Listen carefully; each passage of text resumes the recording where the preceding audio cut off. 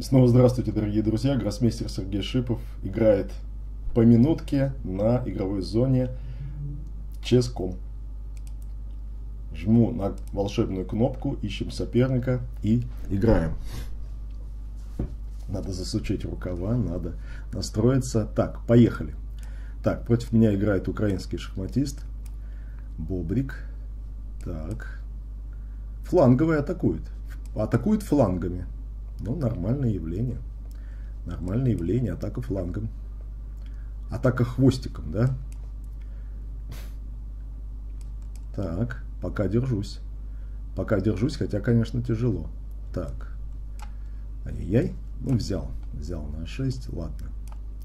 Взял на 6. Может быть, слушайте, а почему Е5 нельзя сыграть? Может быть, можно съесть просто?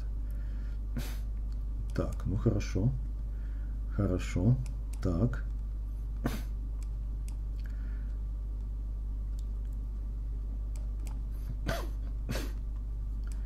Мне кажется, не должно быть какой-то большой компенсации черных, хотя бог его знает. Сейчас видите еще... Ой, ой-ой-ой-ой. Ой-ой-ой.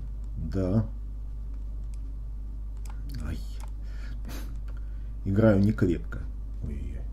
Что же, за, что же за ходы такие? Соперник демонстрирует уникальное мастерство совершенно. Уникальное мастерство. Так, если я так сыграю. Неужели мата там не будет? Хочу мат поставить на королевском фланге. Шах. Шах. Еще шах.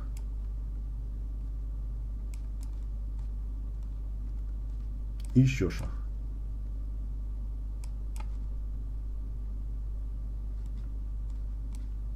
Да, но время кончается, к сожалению. Время кончается и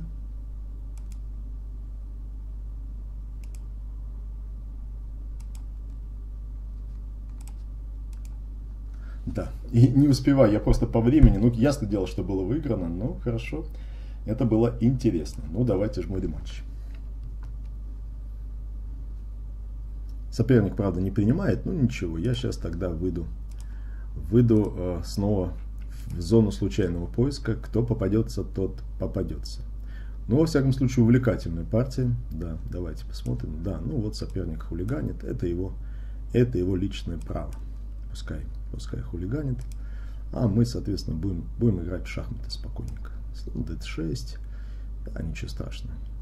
Ой, а если, а если я возьму? А если я возьму, взял один раз, так, и еще, еще развиваемся. Так, ну, допустим, сюда. И, наверное, надо тоже немножко похулиганить, а то не только же одному сопернику здесь веселиться, веселиться и хохотаться. Так, ну это нормально. Это нормально.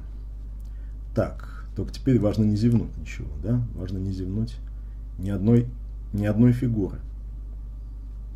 Так, хорошо, хорошо. Вот, и так и будем работать. Так, ну ничего, ничего. Допустим. Допустим, пусть будет так.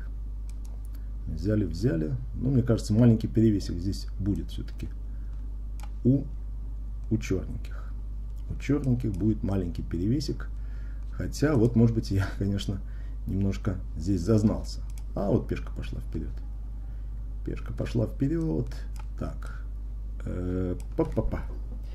И Е2. И пешка прошла. И хорошо. И прекрасно. Пешка прошла вперед и прошла в ферзи. Думаю, что с лишним ферзем-то я уж как-нибудь.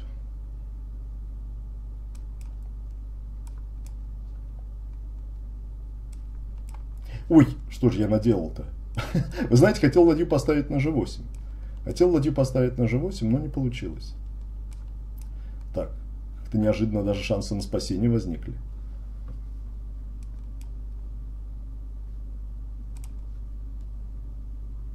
Шах и сюда.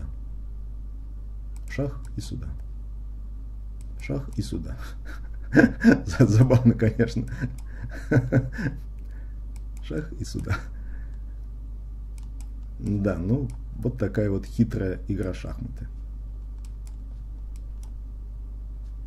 Ну, снес флаг человеку.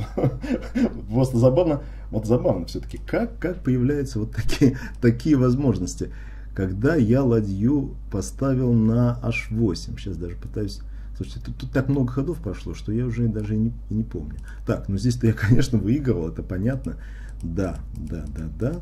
Ну, соперник, на самом деле, для игры по минутке, ну, там с, пешкой, с лишней пешкой, э, где-то на королевском фланге есть какая-то контр-игра, да? Вот, я хотел сыграть ладья g8, а знаете, что было? В последний момент вот ладья g8, я смотрю, ладья g7. И нет взятия, потому что есть э, АЖ. Так что здесь еще борьба-то реально продолжалась. Ну хорошо, вот такая увлекательная штука эти шахматы по минутке.